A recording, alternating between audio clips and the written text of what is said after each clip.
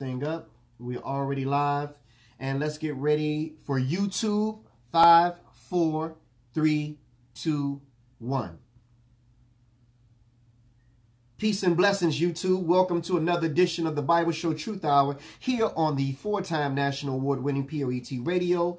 Our brothers and our sisters are on. We are live. They are sharing as we speak, brothers and sisters. And we thank all of you who support our ministry here at, at, at Team Truth Hour. Today's lesson is the Lord's Holy Day of Atonement. For those of you who, who will be watching this, uh, it is September the 22nd, 2020, and we are approaching in just a few days. This is Tuesday. So at Saturday at sundown, we'll kick off and start the Lord's Holy Day of Atonement, which means that it is the only day of the year that the Lord commands us to fast. I'm going to say that again. It is the only day of the year that the Lord commands us to fast. That means that we have no choice. And if we don't do the thing that he is asking us to do, then we are breaking a commandment of his. And so this is why it is so important. We need to know. We need to understand. We need to realize that we need to come into obedience to his will and his way. No matter what mama said, no matter what daddy said, no matter what pastor or preacher said, brothers and sisters, this is the day that we all must keep. So again, bring out your Bibles and we're going to get into what we believe. Again, we're going to get into the what we believe so that those who are watching for the first time would know and understand what we believe. The Truth Hour Bible class is an online social media Bible-based ministry. We teach the uncut word of God as it is written in the Bible, line upon line, precept upon precept. Isaiah 28 and 10. Our mission is to lead as many souls to Jesus the Christ so that through the word of God and the keeping of his commandments, they may receive salvation. Our motto is, if you cannot read it, then do not believe it. What we believe, number one, we believe in the name of Jesus and we have no dispute. If you choose to use the Hebrew or the Latin or the Greek version of his name, we have no issue or qualm with that, brothers and sisters. But we prefer to use the English translated version of the name Jesus because our brothers and our sisters speak English. Number two, we believe that Jesus alone is our Lord and Savior. Number three, we believe in the Sabbath day, which is from Friday sundown to Saturday sundown, and that we must keep that day. Number four, we believe in the seven feast days of the Lord as listed in Leviticus, the 23rd chapter. And that's what we're going to deal with today, the Lord's Day of Atonement, the only day of the year that the Lord commands us to fast. No food, no water, from sundown to sundown, starting this sundown, this Saturday at sundown. All right. Um, number five, we believe that we, the so-called African American, and those who are descendants of the transatlantic slave trade are indeed the Israelites, direct descendants of Abraham, Isaac, and Jacob, and that the statutes, laws, and the commandments apply to us. Number six, we believe that we must still keep the law to the best of our ability according to our knowledge. What do you say to the best of our ability? There are some things that we don't know, brothers and sisters, that we're breaking. You can only be held accountable for that which you know, brothers and sisters. So if it's something that you are doing, and we all are doing something that we're not supposed to be doing, some we are knowledgeable of, but some things that we are not knowledgeable of. So the more knowledge we gain, the more that uh, uh, we got to come into compliance and obedience of the law of God. Number seven, we do not believe in eating anything you want to eat because the Lord has a dietary law. And according to that dietary law in Leviticus, the 11th chapter, we must not eat anything that the Lord deemed to be unclean, such as pork, catfish, shrimp, lobster, or anything that's listed in Leviticus, the 11th chapter, that we're not supposed to be eating. Number eight, we believe that both the scriptures or the Old Testament and the testimony or the New Testament must be used when teaching the Word of God. You cannot be a New Testament Christian or an Old Testament scholar. You must be both, according to Isaiah 8 and 20. Number nine, we do not believe in Sunday Sabbath service. That's not to say that many of our brothers and sisters go to the Sunday churches. And there may be a time where we may have to go where they are to teach them the truth, to pull them away from that so that they can keep and honor the Sabbath day. We do not believe in the Trinity doctrine. We do not believe in the cross or any images or holidays that originate in the worship of other gods, such as Easter, Christmas, New Year's Day, and any other day. These are antichrist according to the Bible. Number 10, we believe that salvation through Jesus the Christ is for all people. So it don't matter what race, color, or nationality you are.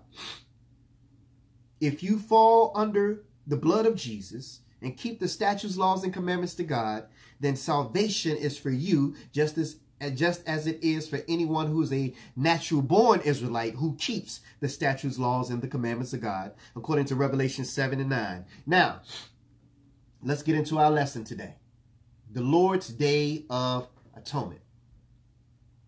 When we look at the feast day of the Lord, we may ask ourselves, what does it mean and what is the purpose of these feast days?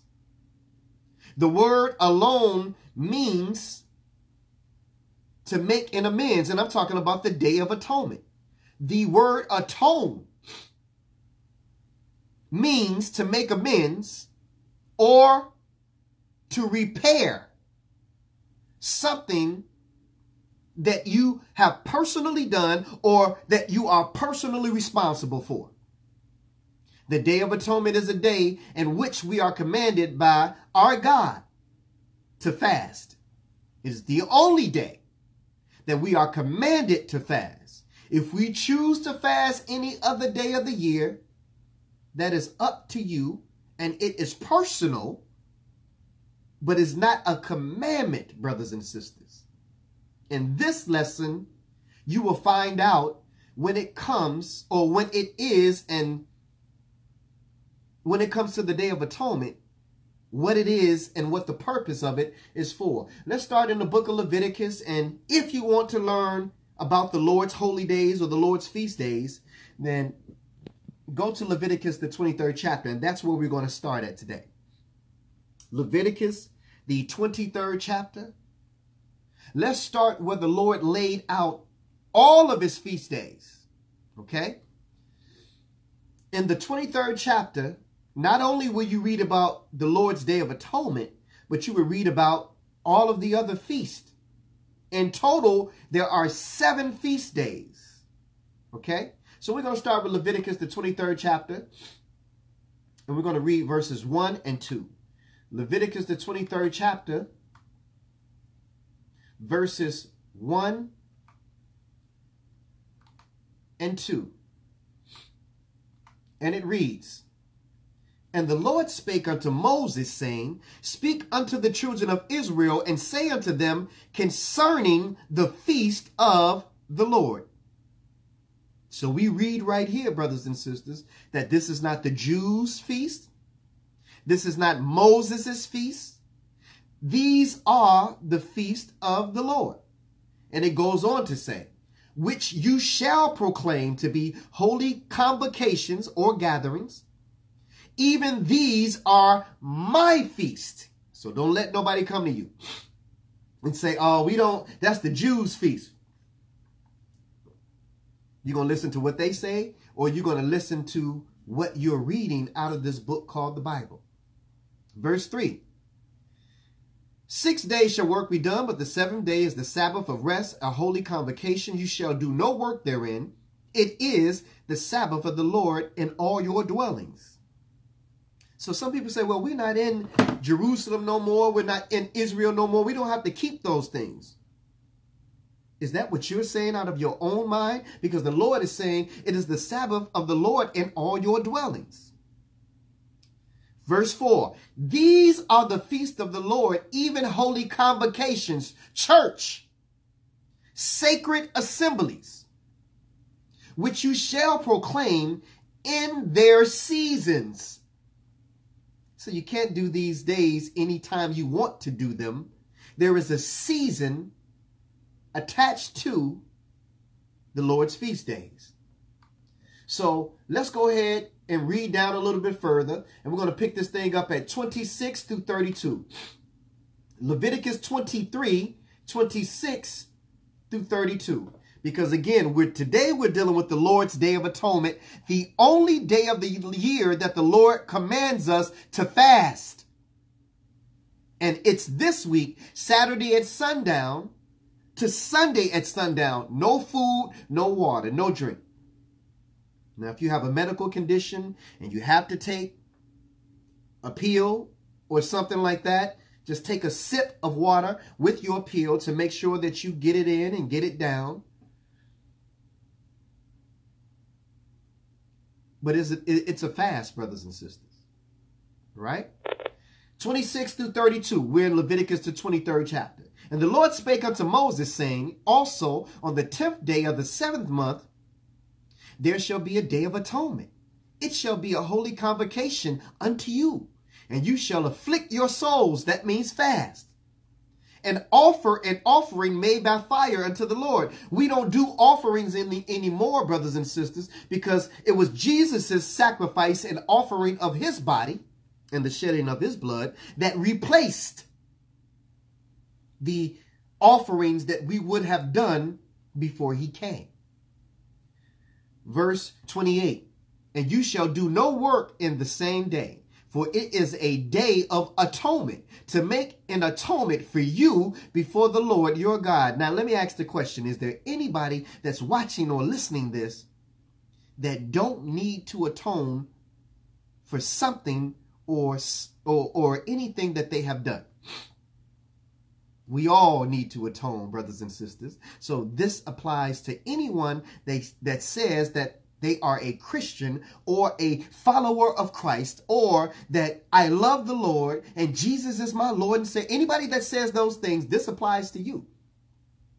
Verse 29, for whatever soul it be that shall not be afflicted, fast, in that same day he shall be cut off from among his people. And whatsoever soul it be that doeth any work in that same day, the same soul will I destroy from among his people. You shall do no matter of work. It shall be a statute forever throughout your generations in all your dwellings. So as long as you're having babies, no matter where you live, this is a statute that the Lord put in place that we must follow. Verse 32, it shall be unto you a Sabbath of rest and you shall afflict your souls in the ninth day of the month at evening. From evening until evening shall you celebrate your Sabbath. So somebody say, well, Blaq Ice, that said the seventh month of the year. Well, again, we already broke down in previous lessons how the Gentiles came and changed the months of the year. But for those who may have missed that, let me just clarify and go into it real quick the month of October is spelled O-C-T, O-B-E-R. Any word that begins with O-C-T means eight. Look up the root or the etymology of any word that begins with oct. A stop sign is in the shape of an octagon because it has eight sides. An octopus is called an octopus because it has eight tentacles. October was named October because it was the eighth month of the year. We're in the month of September right now. That would make this month number seven. Nov means nine. So November is the ninth month. Any word that begins with DEC means 10. A decathlon is 10 races. Decimal point is rounding to the nearest tenth. A decade is 10 years. DEC, DEC, DEC. So yes, brothers and sisters, We're in the seventh month of the year. But again, we don't go by man's calendar. We go by God's calendar. So when that new moon appears, it begins a new month, brothers and sisters. Another lesson for another time, but let's stay on topic. We're talking about the Lord's Day of Atonement. I just wanted to show you something that, so we, we call that learning something on the way to learning something. Turn your Bibles to Exodus, the 29th chapter. Let's get right in the beginning when it was introduced. Why would we need atonement in the first place? Again, in previous lessons, we talked about the sin of Adam and Eve in the garden. From that moment, no flesh and blood human has been sin free, with the exception of Jesus. It said that he came in sinful flesh to condemn sin in the flesh. Let's go back to the purpose of the atoning, atoning in the first place. Exodus, the 29th chapter. We're going to read verses 1 through 3. Exodus, the 29th chapter. And we're going to read verses 1 through 3.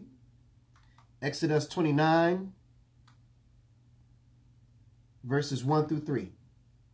And this is the thing that thou shalt do unto them to hallow them to minister unto me in the priest's office. Take one young bullock and two rams without blemish, and unleavened bread and cakes. Now, last week we did a show called The Goat, the Lamb, the Ram, and the Lion. And we showed you that the goat represented Jesus, the lamb represented Jesus, the ram in the bush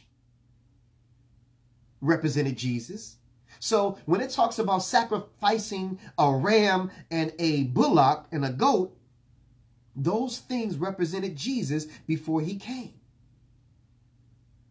Verse 2, and unleavened bread, and cakes unleavened tempered with oil, and wafers unleavened anointed with oil. Oil uh, of wheaten flour shall thou make them. And thou shalt put them into one basket and bring them in the basket with the bullock and two rams. Okay? What are we going to do with this? Let's go down to verse 33. We're in the book of Exodus, the 29th chapter. Let's go to verse 33. And they shall eat those things wherewith the atonement was made.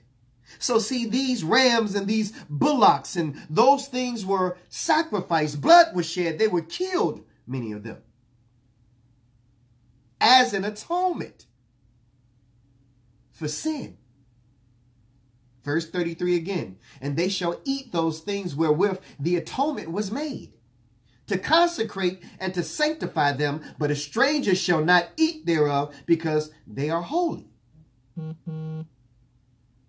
Let's continue our lesson. We're talking about the Lord's Day of Atonement. What does it mean? What does it represent? What does it stand for? Let's go to the book of First John, the third chapter.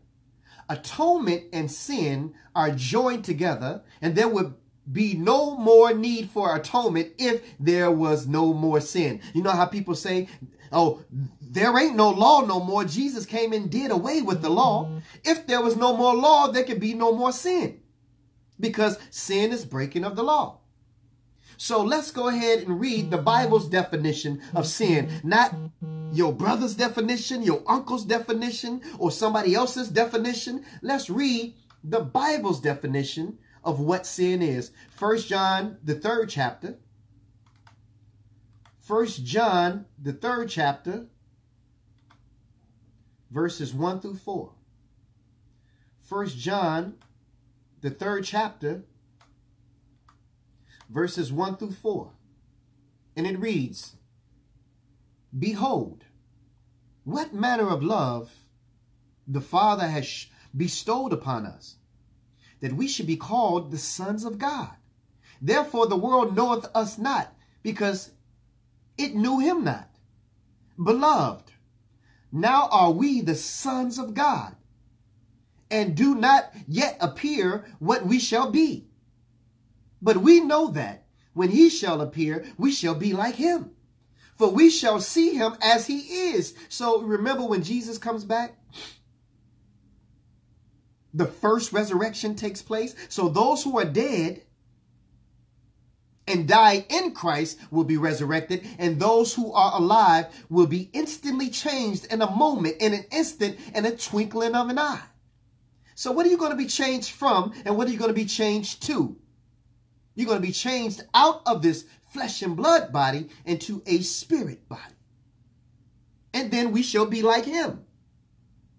Verse 3, And every man that have this hope in him purifies himself even as he is pure.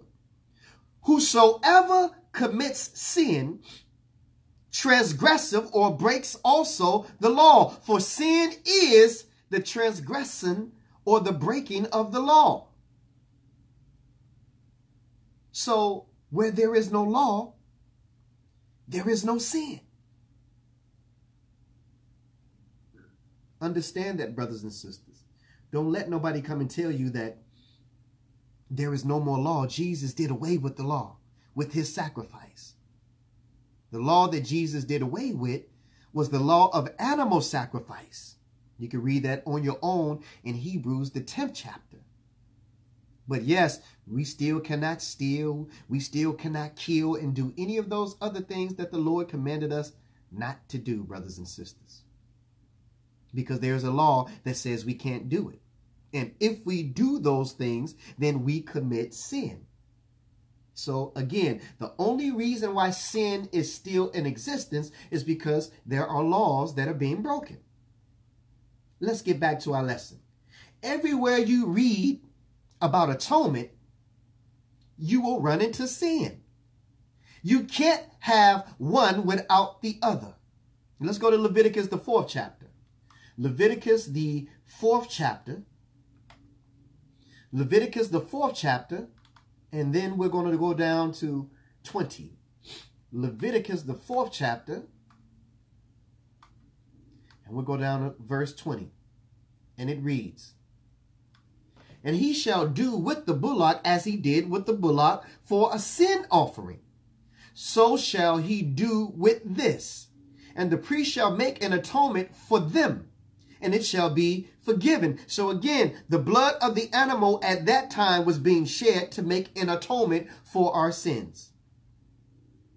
What do you think the shedding of Jesus' blood did for us? It made an atonement for our sins. Let's go down to verse 26. And he shall burn all his fat upon the altar, as the fat of the sacrifice of peace offerings and the priest shall make an atonement for him as concerning his sin, and it shall be forgiven him. So, this sin, this atonement, is connected to sacrifice. What are you and I willing to sacrifice this Saturday at sundown? Are we willing to give up food? Are we willing to give up water? Are we willing to fast like the Lord commands us to do? Are we willing to not do any work on that day? That's our sacrifice. That's the least that we can do for someone who gave his life for ours. To atone for the sin that he didn't even commit himself, for the sins that we committed. Let's go down to verses 31 and then we'll read 35 after 31. 31, then 35, and it reads, And he shall take away all the fat thereof, as the fat is taken away from off the sacrifice of a peace offering. And the priest shall burn it upon the altar for a sweet savor unto the Lord. And the priest shall make an atonement for him, and it shall be forgiven of him. 35. And he shall take away all the fat thereof, as the fat of the lamb is taken away from the sacrifice of the peace offerings, and the priest shall burn them upon the altar according to the offerings made by fire unto the Lord, and the priest shall make an atonement for his sin that he has committed, and it shall be forgiven him. So you think that the priest don't need to atone for anything that he has done? In many cases, brothers and sisters, the priests are worse than those who go and listen to the priest. He needs atonement too. But let's talk about from the blood of an animal to the blood of Jesus. Because we've been talking about animals up until this point and how they sacrifice animals as sin offerings for our atonement. But let's go from the blood of an animal to the blood of Jesus. Walk with me. Let's take this journey, brothers and sisters. Let's go to Genesis, the third chapter. For the first time in the Bible, we can read about animal sacrifice for sin. It was shown to us in the Garden of Eden. God showed us after reading this book that when Adam and Eve covered themselves with those fig leaves, that wasn't good enough. But they were smart enough to know that they could not sin by killing an animal or anything in God's creation. So God is instituting something at this point, brothers and sisters, that man would be given the permission to do at a later time. Again, man wasn't even given permission to do what God is about to do. So let's go to Genesis, the third chapter, and we're going to read 1 and then 7. Genesis, the third chapter, we're going to start at verse 1, and then we're going to go down to verse 7. Now the serpent was more subtle than any beast of the field which God, which the Lord God had made. And he said unto the woman, Yeah, have God said you shall not eat of every tree of the garden? So you know what happened.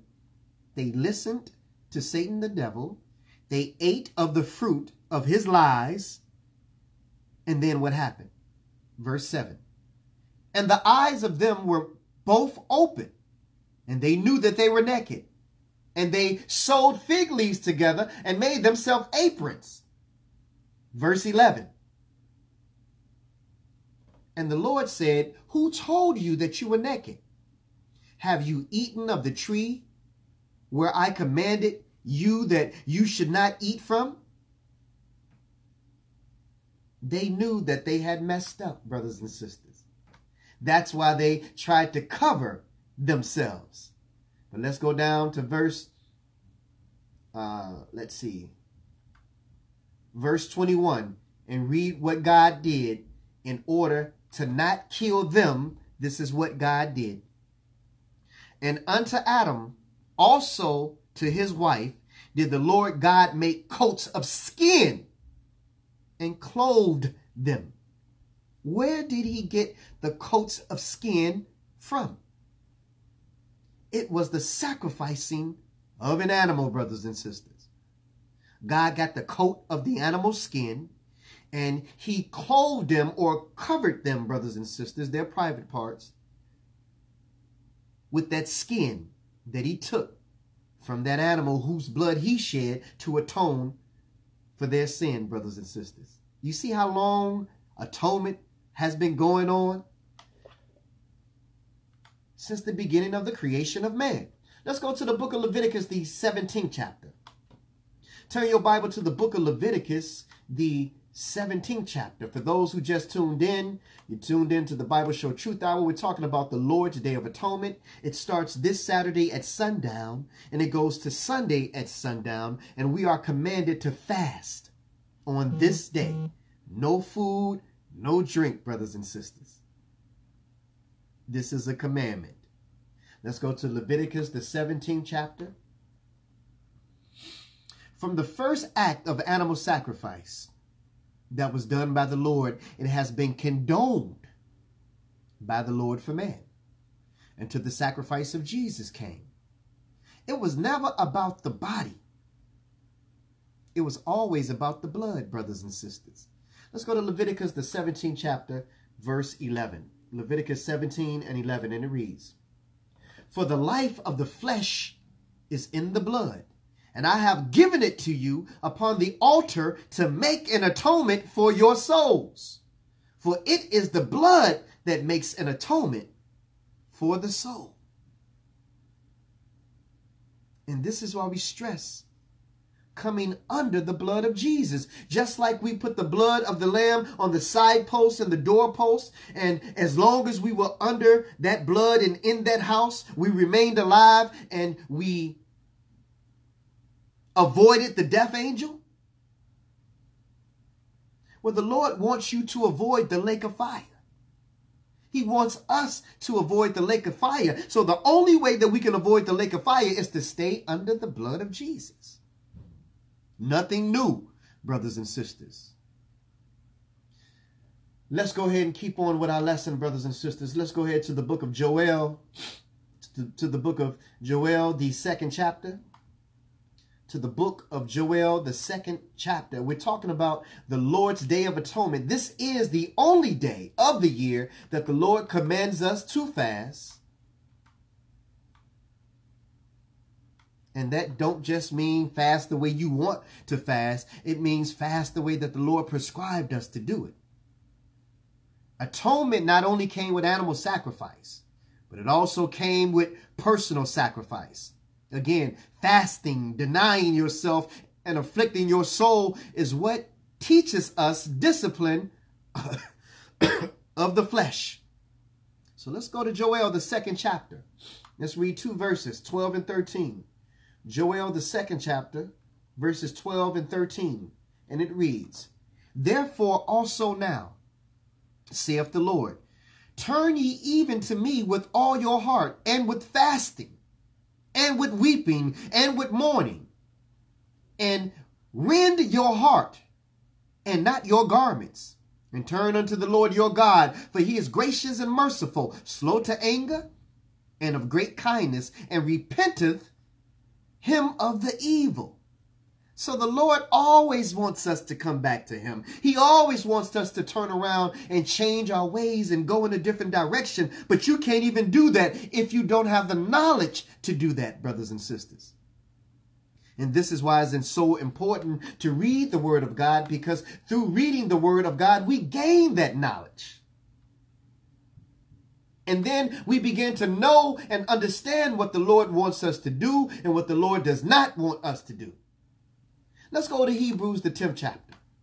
And again, let's find out that thing that Jesus did take away.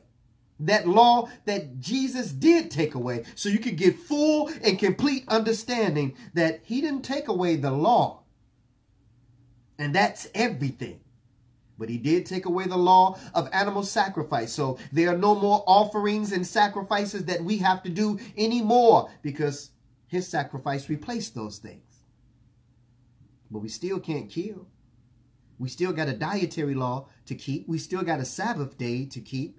We still got the Lord's holy feast days to keep.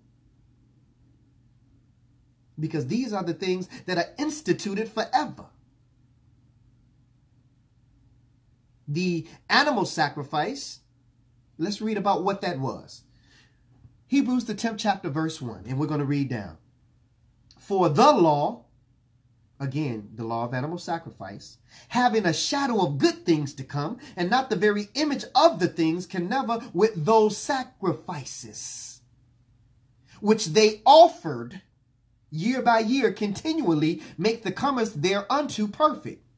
For then would they not have ceased to be offered because that the worshippers, once purged, should have had no more conscience of sins. But because these were animals being sacrificed, they couldn't take away your sins. They only covered your sin. So we had to do those constantly, year by year. Three, but in those sacrifices, See how we're talking about a law and everything under this law that we're talking about deals with sacrifices and offerings? It's beautiful to say that you love Jesus and that he's your Lord and Savior and that he's my friend and I love him and I know him. But you can't have those things without knowing what his word says, brothers and sisters. Verse 3. But in those sacrifices, there is a remembrance again made of sins every year. For it is not possible that the blood of bulls and goats should take away sins. Why are we reading about sacrifices? attached to a law, I think you are beginning to get the picture and beginning to understand that this law is the law of animal sacrifice. Let's go ahead and read though, and let's find out why God had no pleasure in these things. Verse 5 Wherefore, when he comes into the world, talking about Jesus, he saith, Sacrifices and offerings thou wouldest not, but a body hast thou prepared for me. So he didn't care about sacrificing animals for our sins. They didn't do nothing to die for us. Innocent animals we're taking the life of because of our sins. Verse 6 In burnt offerings and sacrifices for sin, Thou hast had no pleasure. Then said I, Lo, I come in the volume of the book. It is written of me to do thy will, O God. Above, when he said, Sacrifices and offerings and burnt offerings and offerings for sin, thou wouldest not, neither had pleasure therein, which are offered by the law. Uh-oh. Now we understand that this offering was done by the law, the law of animal sacrifice. Number nine, then said he, Lo, I come to do thy will, O God. He taketh away the first, animal sacrifice, that he may establish the second, the sacrifice of himself, by the which will we are sanctified through the offering of the body of Jesus Christ once and for all. He took away animal sacrifice and replaced it with his own sacrifice. And every priest standing daily ministering and offering oftentimes the same sacrifices which can never take away sins. But this man, after he had offered one sacrifice for sins forever, sat down on the right hand of God. This is why we need atonement. Jesus ain't coming to die for us no more, brothers and sisters. So we got to atone for our own sins that we commit on a daily basis. Fasting is a test. But with that test is going to come temptation because those of you who are joining us this Saturday at sundown for this 24 hour fast or a sundown to sundown fast. During that fast, you're going to become irritable. You're going to become cranky. And you're not even supposed to let anybody know that you are fasting. You're not even supposed to look like you're fasting so that somebody can say, oh, what's wrong with you? I want sympathy now. No, brothers and sisters. Let's read Isaiah the 58th chapter. Isaiah, the 58th chapter. Fasting and prayer are the best ways to open up the direct line to the Father. It is the best way to learn how to control the appetite of the flesh. It is the best way to arm yourself against Satan. And again, you can't get to the Father unless you go through Jesus. But how many things do we have to go through between us and Jesus before we even get to him? Let's read Isaiah the 58 chapter. Isaiah the 58 chapter, verses 1 through 5. Isaiah the 58 chapter, verses 1 through 5. Isaiah 58, verses 1 through 5. And it reads, Cry aloud, spare not.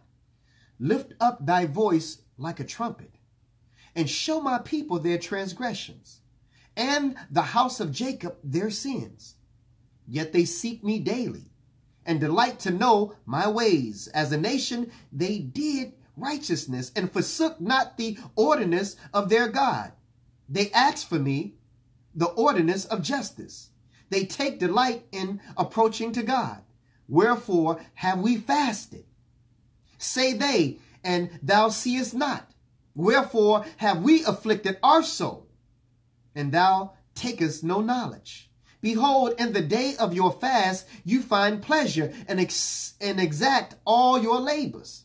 So while your stomach is hurting, while you feeling irritable, while you feeling cranky, while you become hungry and thirsty, find pleasure and know and understand that you are doing the will of God. All these things that you will be going through in your mind, in your in your soul or body, and even in your spirit, brothers and sisters. All these things that you will be going through will be well worth the sacrifice to be in compliance with the law of God.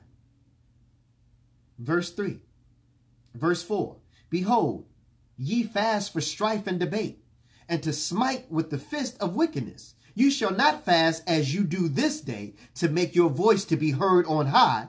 It is such a fast that I have chosen. Did y'all hear what the Lord said? It is such a fast that I have chosen. A day for a man to afflict a soul. It is to bow down his head as a bulrush and to spread sackcloth and ashes under him. Wilt thou call this a fast and an acceptable day of the Lord? Six, it is not this the fast that I have chosen, to loose the bands and wickedness, to do unto the heavy burdens, and to let the oppressed go free, and that you break every yoke. Brothers and sisters, is it not to deal thy bread to the hungry, and thou hast br um, bring thou poor, and, and that are cast out of thy house? When thou seest the naked, and thou cover him, and that thou hide not thyself thine own flesh, brothers and sisters. The Lord is trying to weaponize us. And you got to understand that. It seems like, oh man, I'm missing out on fun. Everybody is doing this and everybody, the Lord wants to sanctify you, which means to set you apart. You ain't supposed to be doing what everybody else is doing. Israel, Hear my voice. Listen well. You are not supposed to be doing what everybody else is doing. What the other nations are doing. You're not supposed to be doing that. The Lord wants to sanctify you. He wants to set you apart. He wants to weaponize you so that you can be created as a weapon for him against Satan. Let's turn your books of the Bible to Matthew, the fourth chapter. Matthew, the fourth chapter. Let's read about Jesus. When he fasted. And the Lord ain't even asking you to do what Jesus did because Jesus fasted for 40 days and 40 nights. When you are afflicting your soul or fasting, again, all kinds of subliminal messages come to your mind in your weakened state. Remember, the devil has no off days. He don't need no sleep. He don't take no breaks. He will tempt you and always remember Satan tempts you, but God tests you. Satan is the one who tempts you, but God is the one who tests you. Let's read about Jesus. Matthew, the fourth chapter. Start at verse 1 through 11. Then it was Jesus led up of the Spirit into the wilderness to be tempted of the devil. And when he had fasted 40 days and 40 nights, he, would, he was afterward and hungered. And when the tempter came to him, he said, If thou be the Son of God, command that these stones be made of bread. But he answered and said unto him, Is it not written, Man shall not live off bread alone, but by every word that proceedeth out of the mouth of God. Did y'all hear that? We got to lock on hold to all these words that we are reading, brothers and sisters, because we got to hold on to every word that proceedeth out of the mouth of God. And it said, then the devil taketh him up into the holy city and setteth him on high on a pinnacle of the temple and saith unto him, If you be the Son of God, cast yourself down. For it is written, He shall give his angels charge concerning thee, and in their hands they shall bear thee up, lest any time you dash your foot against a stone. But look at how Jesus answered him. Jesus said unto him, Is it written, it is written again, Thou shalt not tempt the Lord thy God.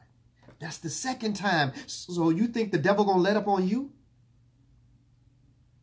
Satan ain't done. He about to come back to Jesus one more time. And the devil taketh him up to an exceedingly high mountain and showed him all the kingdoms of the world and the glory of them. And said unto him, All these things will I give you if you will fall down and worship me.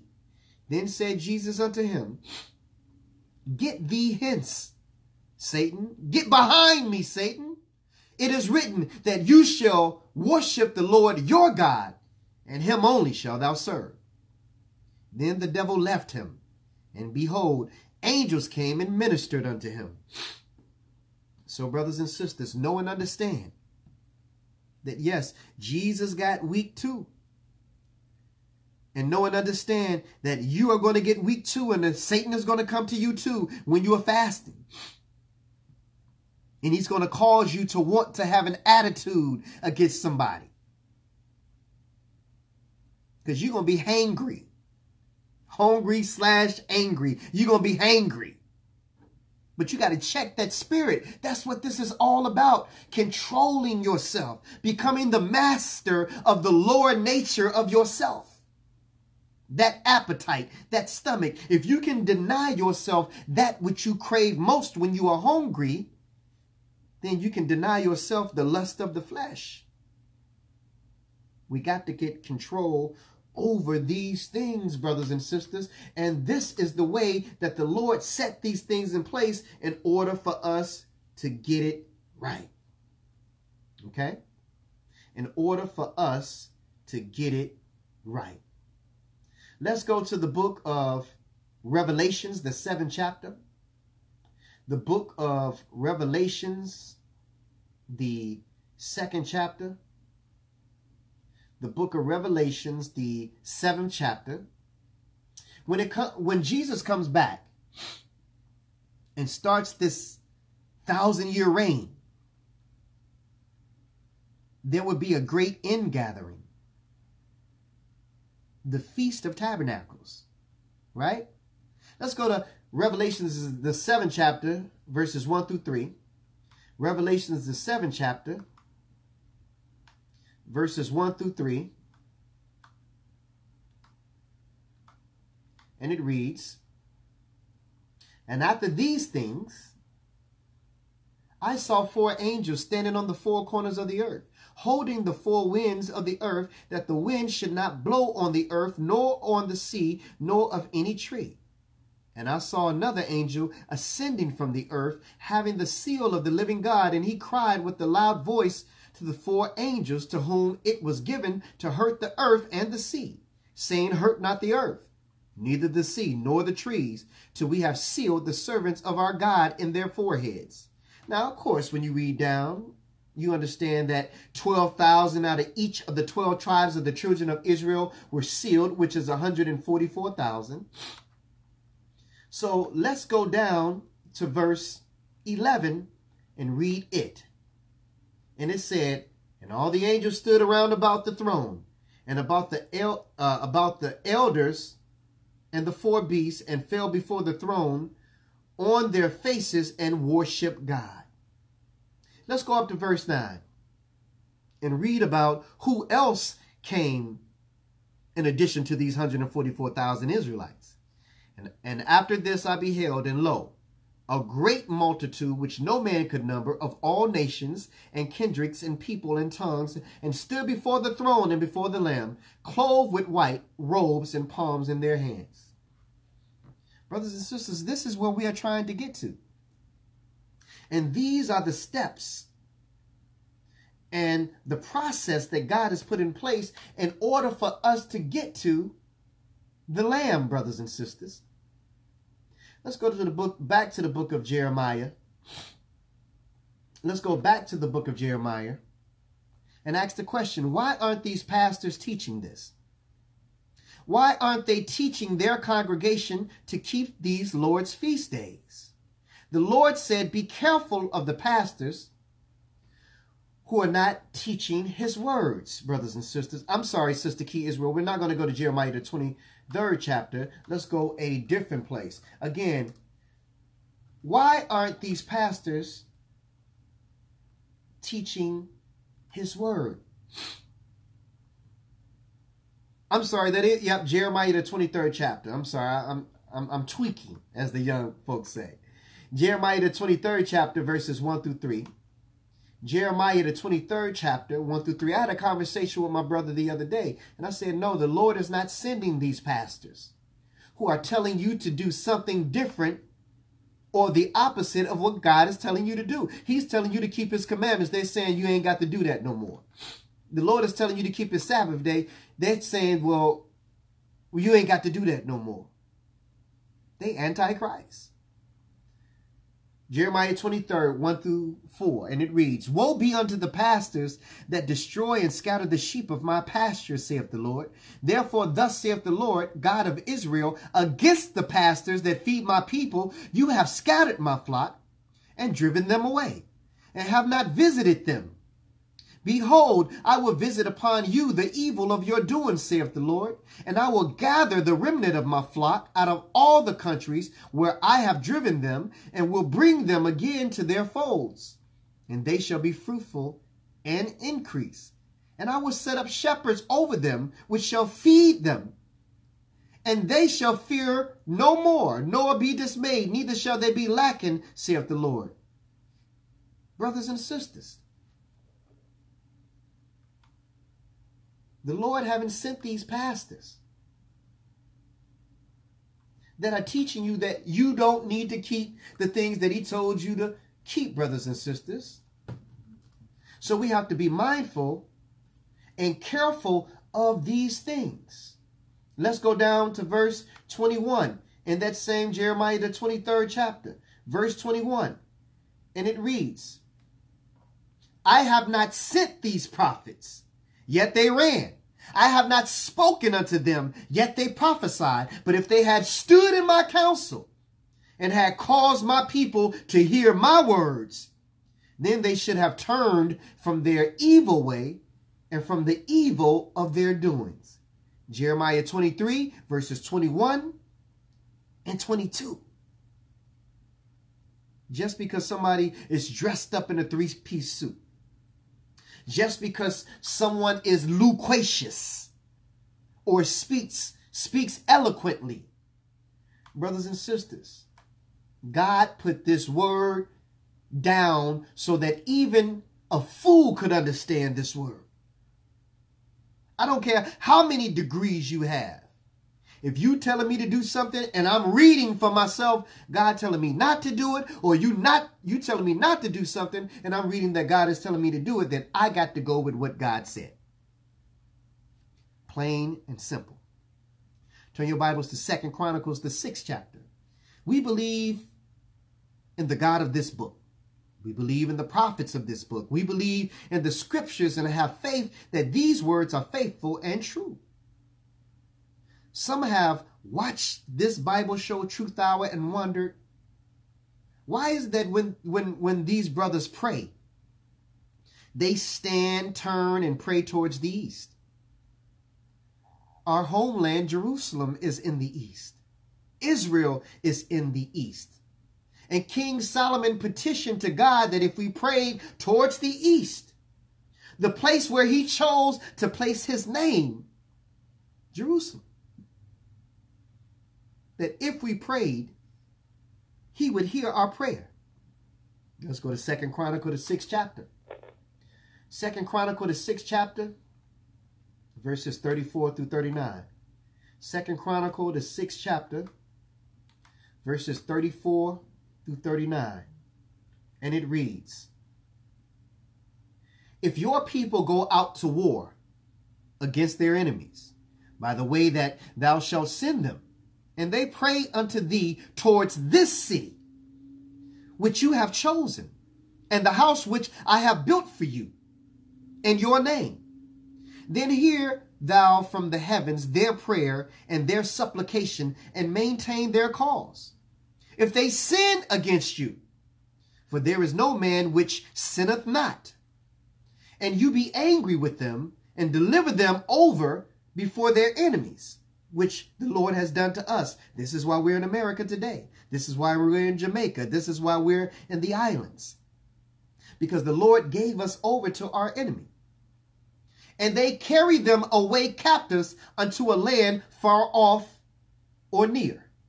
Yet if they bethink themselves in the land where they are carried captive, and turn and pray unto thee in the land of their captivity, saying, We have sinned, we have done amiss, and have dealt wickedly, if they return to thee with all their heart and with all their soul in the land of their captivity, where they have carried them captives, and pray towards their land, and pray towards their land, and pray towards the east, their land, which thou gavest unto their fathers, and toward the city which thou hast chosen, and towards the house which I have built for thy name.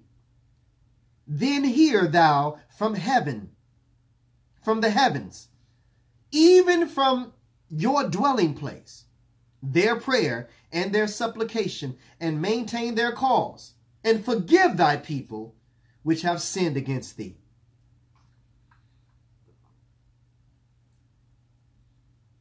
This is why we stand and pray towards the east. This is not a commandment, but this is a petition that King Solomon made on our behalf, brothers and sisters. So now that you have understanding of that and know where to go and find it in the book, understand that this is why we do what we do, brothers and sisters. But again, atonement for sin prayer and supplication and fasting for sin. This is what the Day of Atonement is all about. Despite the things that we have done against the Lord or the things that we are doing, when the Lord comes, he will plead with us to atone and turn back to him. Now, when we say plead, brothers and sisters, we ain't talking about begging. We're talking about get down or lay down. There's only one choice. Remember, he left as a lamb, but he's coming back as a lion. Let's go to Jeremiah, the second chapter. Jeremiah, the second chapter. And we're going to read verses 1 through 9. Jeremiah, the second chapter. And we're going to read verses 1 through 9 and it reads, Moreover, the word of the Lord came to me, saying, Go and cry in the ears of Jerusalem, saying, Thus saith the Lord, I remember thee, the kindness of thy youth, the love of thine uh, apostles, which thou wentest after me in the wilderness, in the land that was not sown. Israel was holiness unto the Lord, and the first fruits of his increase. All that devour him shall offend, evil shall come upon them, saith the Lord. Hear ye the word of the Lord, O house of Jacob, and all the families of the house of Israel. Thus saith the Lord, What iniquity have your fathers found in me, that they are gone far from me, and have walked after vanity, and are become vain? Neither said they, Where is the Lord that brought us up out of the land of Egypt, that led us through the wilderness, through a land of deserts and of pits, through a land of drought and of the shadow of death, through a land that no man passed through and where no man dwelt. And I brought you into a plentiful country to eat the fruit thereof and the goodness thereof. But when you entered, you defiled my land and made my inheritance an, an abomination. The priest said not, Where is the Lord? And they that had handled the law knew me not. The pastors also transgressed against me, and the prophets prophesied by Baal, and walked after the things that do not profit. Wherefore I will yet plead with you, saith the Lord, and with your children's children will I plead. So the Lord is going to give us an opportunity when he comes back to turn back to him. Many of us don't even know because we've been lied to so much by false prophets what the Lord wants us to do and what the Lord does not want us to do. brothers and sisters, Satan can use anybody. So you might say, well, my pastor got a good heart and I love my pastor. Satan could be using him. He could be using your mom. He could be using your grandma. They don't know. Satan used Peter. When Jesus told Peter, get thee behind me, Satan, that was Jesus' chief apostle. And he walked with Jesus. He knew the statutes, laws, and the commandments, and Satan, Satan still used him. What makes you think Satan can't use these people who've been teaching you? You got unwilling participants, and then you have willing participants. Let's go to the book of Ezekiel, the 20th chapter. Ezekiel, the 20th chapter. We got two more places. Ezekiel, the 20th chapter, verses 33 through 38. And it reads, As I live, saith the Lord, Surely with the mighty hand and with the stretched out arm and with fury poured out, I will rule over you. And I will bring you out of the from the people and will gather you out of the countries where you are scattered. How do you think you got in America again? How do you think you got in Jamaica again? How do you think you got in Belize? How do you think you got in the Dominican Republic? How do you think you got in the European nations? The Lord scattered you there. But the Lord said, with a stretched out arm, I will gather my people with a mighty hand. He said, and I will bring you into the wilderness of the people. And there will I plead with you face to face, like as I pleaded with your fathers in the wilderness of the land of Egypt. So will I plead with you, saith the Lord, and I will cause you to pass under the rod and will bring you into the bond of the covenant. So why are you telling me to not do something? You ain't got to worry about that old law, that old covenant. And the Lord is constantly saying, I'm going to plead with you to bring you back into that which you have walked away from. And I would purge out from among you the rebels and them that transgress against me, and and, and I will bring them forth out of the country where they sojourn, and they shall not enter into the land of Israel, and you shall know that I am the Lord. So the Lord in the wilderness, brothers and sisters, when we come out of America and the various places, not one Israelite is going to be left where they don't belong. But in the wilderness, you're going to be tried and pleaded with. And the only way you're going to make it back into the land is to come back under the blood of Jesus and come into the bond of the covenant. Verse 39, As for you, O house of Israel, thus saith the Lord God, Go ye serve ye every one his idols. And hereafter also, if you will not hearken unto me, but pollute ye me, ye, ye my holy name, no more with your gifts and with your idols. So the Lord ain't playing, brothers and sisters. If you want to do what you're doing, the Lord is saying, keep doing it. I got a place for you. It's called the lake of fire. But if you atone, the day of atonement, if you purge your sins, if you afflict your fast that I am commanding you to do, and make this lifestyle change, that I am commanding you to make. Then you can enter into the kingdom of God, which will be established here on earth. Let's close this thing out. Revelations, the 21st chapter, verses 2 and 3. Finally, after the last enemy is defeated, which is death, the eighth day or the coming of the Father takes place. No more flesh and blood, According to Leviticus 23 and 42, we only have seven days to dwell in this flesh and blood body, or 7,000 years. But at the beginning of the eighth day, every living soul must be changed in a moment, in an instant, in a twinkling of an eye, brothers and sisters. So again, we atone so that we can be accepted into the body of Christ and gathered together in that Feast of Tabernacles. And once we're gathered together, and when Jesus is done doing everything that he has to do, then he turns over the keys of the kingdom to the Father, and then the Father himself comes down. Let's close this out and read it. Revelations, the 21st chapter, verses 2 and 3. So again, don't teach that we go into heaven. That is not biblical, brothers and sisters. That is antichrist to teach that we are going to heaven to be with the Lord. Let's read what the word of God says. Because the word of God says the exact opposite. Revelations 21, verses 2 and 3. And I, John, saw the holy city, New Jerusalem, coming down from God out of heaven, prepared as a bride adorned for her husband. So first, he sends his kingdom down here. And it says it was prepared as a bride adorned for her husband. Who prepared it? Didn't Jesus say, I go to prepare a place for you?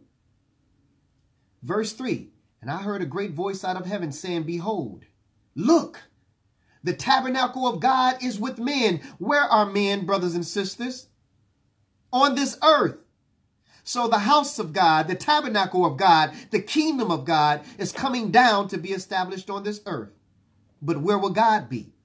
It says, and he, talking about God, will live with them, talking about us. So God is coming with his kingdom to live with us. Let me read on more and they shall be his people, and God himself shall be with them and be their God. It didn't say we going to be with God. It says God is coming to be with them, with us. Man. Male and female. Woman. And be our God. So how can we turn around and ask who wants to go to heaven when we're reading this right here that what is in heaven is coming down here to be established here on this earth? Brothers and sisters, I'm going to tell you like Malcolm X said, you've been had, you've been took, you've been hoodwinked, you've been led astray, you've been run amok. But this is what Satan does. He's a copycat. He is a master of deception. And this is why we need to atone. This is why we need to fast. And this is why we need to pray, brothers and sisters. Because walking this walk for the straight and narrow is hard. Wide is the way to destruction, is the road to destruction. Everybody is walking that road. But what are you going to do for Jesus, knowing that he died for you? Can you at least keep his statutes, laws, and his commandments? Can you at least on this Saturday keep his commandment of following his holy day of atonement and fast? And let's encourage one another and check on one another to do this fast, brothers and sisters. And not only are we going to fast, brothers and sisters, but at 12 noon, Central Standard Time, we're going to tune in to the Israel of God because the other thing that's stated is that we must have a holy convocation, which means a holy gathering or church, a sacred assembly. So not only are you commanded to fast at the time that the Chicago Bears football game come on, playing the Atlanta Falcons, and I will be in Atlanta this Thursday. Can't watch the game. Got to have that holy convocation or that holy assembly, brothers and sisters. That is the other part of keeping the holy day of atonement. I thank you so much for your time. I thank you for tuning in, brothers and sisters. I look forward to keeping this holy day of atonement and this fast with you this Saturday at sundown. Two Sabbaths back to back. You can do it, brothers and sisters. I have faith in our God and I have faith in you. Pray that God strengthen your faith and your will, brothers and sisters. With that being said, for those who are watching via YouTube, if you would like to um, be added to our text message invite reminder list, then text your name and the keyword truth hour to 312-719-7310. And somebody please put that number in the comment section for me. Again, for those who are on YouTube or Facebook, If you would like to be added to our text message invite reminder list, then text your name and the keyword Truth Hour to 312 719 7310. For those who are on Facebook, please go to YouTube and subscribe to our channel, Truth Hour TV. For those who are on YouTube, go and like our Facebook page, which is the Truth Hour Bible Show. And again, let me go ahead and put this uh, number here 312 719 7310 if you would like to be added to our text message invite reminder list. There you go. And if there is someone on the line that would like to comment on something that was said today, then we're going to give you an opportunity to call in. As we stand up and say our prayer, we're going to give you an opportunity to call into the show and to tell us what you thought about today's lesson. That number is 605 562 0444 605 562 0444 and that's being put in the comment section right now as we speak. All right. And again, if you are in Atlanta, I will be in Atlanta this Thursday. And I will be leaving on Sunday. All right. So let's go ahead and stand up, face the east, y'all. Face the east and get this prayer in. And again, um, please call in now. That number right there. You only sitting on the couch anyhow. Y'all remember the commercial, the college commercial. All right, y'all, let's stand up and face the east and pray.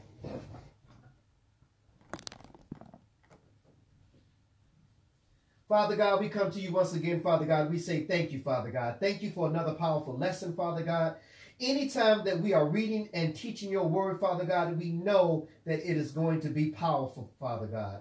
Let that power transcend to your sheep, Father God. Those who are watching, those who are listening, those who desire to do your will, Father God, in their life and on this earth, Father God. Let the power of your word transcend to them, Father God. We ask that you strengthen us, Father God. We know that this fast coming up for your holy day of atonement, it won't be an easy thing to do, Father God.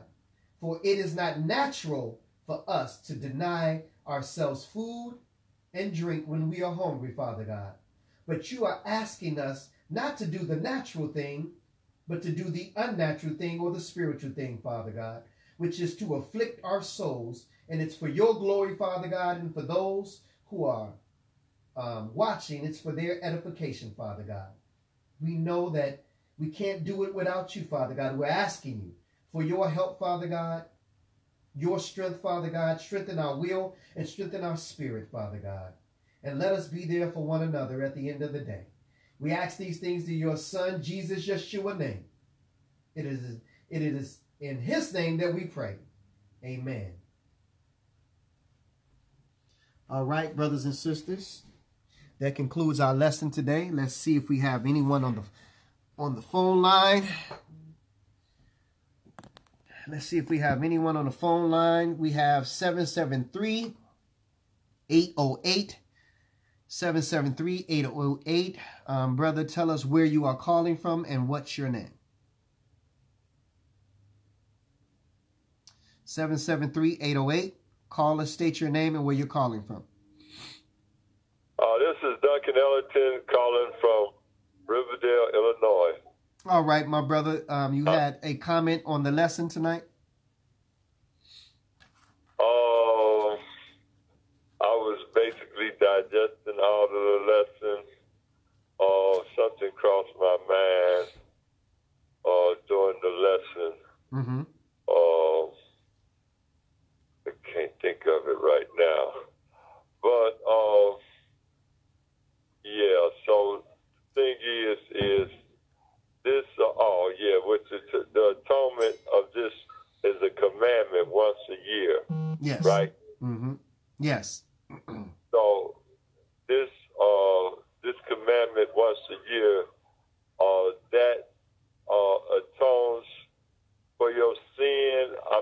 still have to after after you make the atonement and, the, and, and obey the commandment.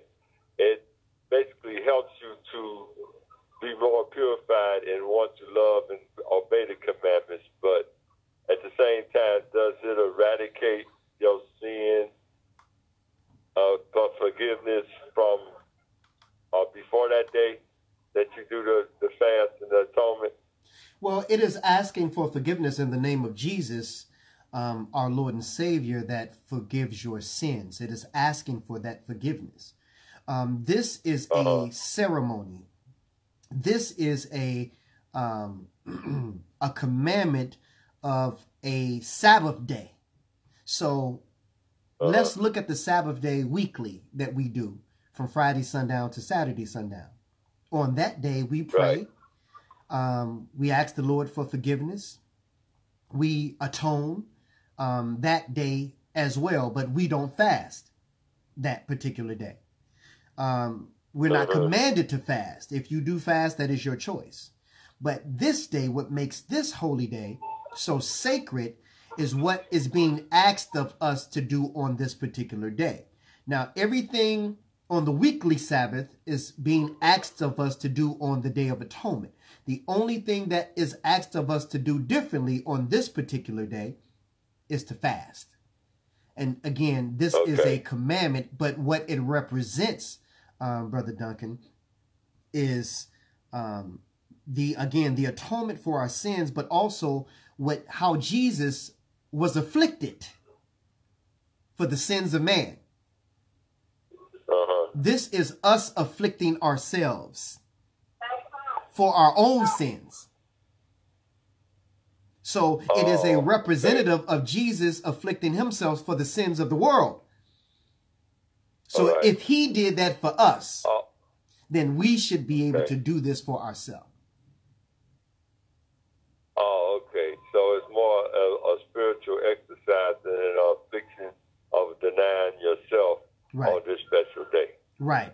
Right. Okay. And it also, again, it also represents that when he comes back and returns, before we can go into the land, then there's some things that we must um, turn away from. So all of that atonement, you know, it's a setup before what comes after it, which is the Feast of Tabernacles, which is the great ingathering. So he's going to gather us from the four corners of the earth, but he's not bringing us right into the land. We got to go into the wilderness before we go into the land. And it is in that wilderness that we must give up the lifestyle and the life of the countries that we came from because that lifestyle is not necessarily conducive to the lifestyle that the Lord wants us to lead or um, live once we come back into the land. Okay. Yep. Okay, and I'm pretty sure we'll talk on it uh, more as well. All right, then. God bless you. Thank you. And may the God continue to share the word and have that labor and endurance of love for all who are willing to hear. In Yasha, in Jesus' name. All right, in Jesus' Amen. name. Thank you, brother. Uh, let's see if there's anyone else who wants to comment. And um, I guess not. So we will close this thing out. And again, brothers and sisters, let's encourage one another. Um, you can reach out to me in my inbox or any of the Team Truth Hour inbox and let us help each other and encourage each other. Team Truth Hour, this is what I want you to do so that they can find you. Please type Team Truth Hour under your name so um, that they know that if they need help, they can reach out to you during this fast, okay? Or if they need more information. All right. And again, if you would like to be a member of Team Truth Hour, uh, of course, we could always use the help. Um, then reach out to anyone that is putting in the comment section Team Truth Hour um, under their name. And um, we will get with you and see if you are willing to help further this mission and further this ministry, brothers and sisters. We need you. God needs you. So Faith without works is dead. Listening to people all throughout the course of the day, that's one thing, but what are we doing? What work are we putting in?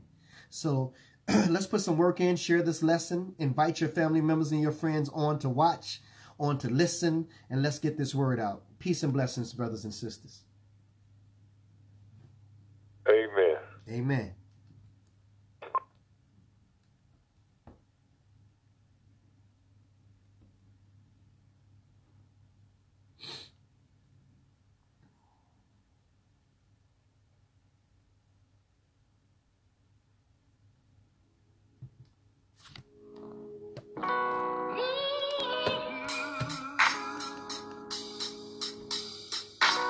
Crash production. I have the power to control my mind. Whatever I think, I can get it every time. My unconscious mind goes to work, work with whatever information my conscious mind inserts. I was given a gift by God at birth. Speak those things that are not into existence as though they were. The universe has to react to what I think and feel. Because my thinking becomes feeling, my feeling becomes spoken words, making it real. As long as I don't have any doubt, God will go into my invisible inheritance and bring it out to the visible for all to see.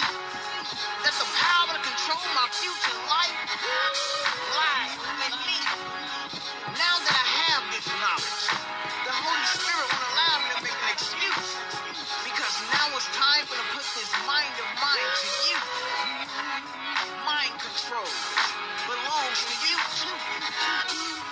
you so choose to use it. If you don't, don't be upset when you lose it. See me? I'm not ashamed to show it. And if you didn't know it, I'm known as the messenger, lead of extraordinary poets.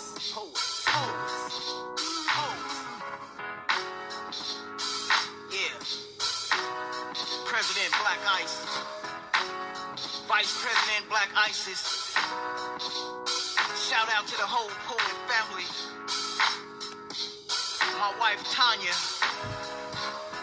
Destiny, my daughter.